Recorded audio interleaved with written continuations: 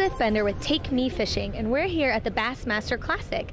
Joining me today is Brent Chapman. How you doing? I'm great, Elizabeth. Thank you. So tell me, you, we were just chatting, and you said that you have kids and you love taking the kids out. Oh, absolutely. I've got a seven-year-old and a nine-year-old, and I mean that, that's what, what my parents did with me. They grew up, you know, I, I grew up around fishing, and, and uh, you know we're going to pass it on to our kids. Our kids love to go fishing, and there's nothing I enjoy more than taking my kids out and watching them catch a fish.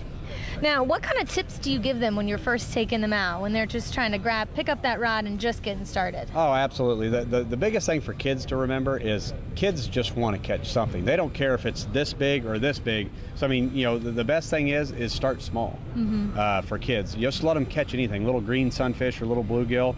And the thing I always tell everybody, the kids and the parents, is you can catch really big fish on a little hook, but you can't catch little fish on a big hook. So you're always better off if you're unsure. The smaller the hook you put on, the better because the more fish you're apt to catch. That's really good advice, especially for first-time parents when they're headed out.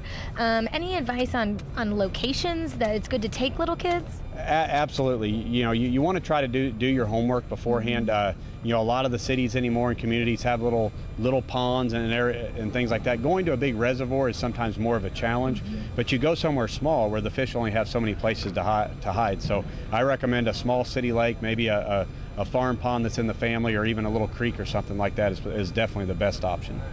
That's great. Now, who taught you to fish? Uh, definitely my parents. My dad, uh, he was he, he taught me to love to fish, and uh, that's what I'm doing now today with my son. That's great. Uh, is your son here at the competition? Does he like to come cheer on dad? Oh, absolutely. He loves to go to the outdoor expo and see all the, the new lures and stuff, and see what kind of new products he can get, uh, so he can try to beat dad with later down the road. Now, has he ever beat you? Caught anything bigger? Oh, absolutely. He's he's beat me a few times, and, uh, and as a dad, you know, from a dad standpoint, I, I'm you know couldn't be prouder, and uh, love to see him beat me more. That's great. Now, you were mentioning that several of the other anglers have have kids as well. Have you guys ever had a chance to take them out as a big group activity? Oh, a- absolutely. There's there's a lot of us on the road that uh, camp, so we'll be at different campgrounds, and all of our kids hang out together and, and fish and catch creatures and, and, and all that. So, uh, you know, our, our kids on the road, they, they're they're kind of spoiled when it comes to fishing. That's great, though. It seems like you guys have a, a really good community sense going here with the Bass Nation and a lot of the folks involved with it. Uh, I know that the Bassmaster Classic specifically is more of a solo competition, but if you could have a partner in a competition like this, who would you want to fish with? Oh, definitely my son. You know, I, I mean, I wish it could be three. I wish it could be my dad and my son, but uh, you know, it, it's hard to beat when hard to beat it when you can take your kids fishing for sure. And you said your daughter also fishes. Oh, absolutely. She she fishes as she's not as into it as my son. If I can take her out and let her do some catching, you know, she's probably not as patient as he is, but uh, you know, my, my daughter loves it as well for sure. Any different tips you would give someone who was trying to teach a little girl to fish versus a little boy?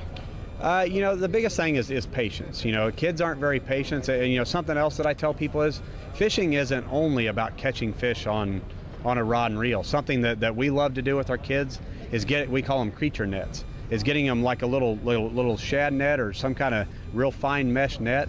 And if, if they're not catching fish on a rod and reel, you just take the, the net and you go along the shoreline and scoop stuff up. And, Oh, and they love it because they catch minnows, crawfish, frogs, turtles. And that's what kids like. They want to be entertained. They want to get to hold all the creatures, get a little muddy. And, uh, you know, my, my daughter probably likes that more than she does actually catching fish.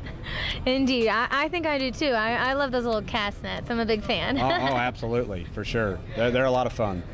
Now, for y'all as a family, is there any place special that you guys like to go on vacation to go fishing? I mean, versus this kind of middle area of, the country? You know, we're, we're kind of spoiled. I mean, you know, we, we get to travel the country. We've had some great fishing outings, uh, you know, all over the country. Florida's a lot of fun because, you know, we'll, we usually get to go down there during the winter and, uh, you know, it's exciting for, for, for my son especially because we'll do some saltwater fishing and stuff, and that's Yeah. something different and something that, that we really haven't done before. But I mean, we honestly have. We've had experiences all around the country, uh, from catching trout in Arkansas to you know catching smallmouth to, in New York and and going saltwater fishing in Florida. They've got to do a little bit of everything. But uh, you know the biggest thing is is just you know no matter what, no matter where you live, there's always a place to go catch a fish, whether it's a creek, a pond, or even the ocean. You know the main thing is just get out there and take them. That's great. Now, tell me a little bit about tomorrow. How, how is everything looking?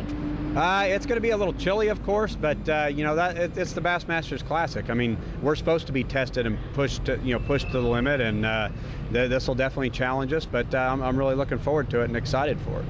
How, when the weather's kind of kind of down and out like it is today and probably tomorrow, what kind of things do you do to extra prepare for the weather?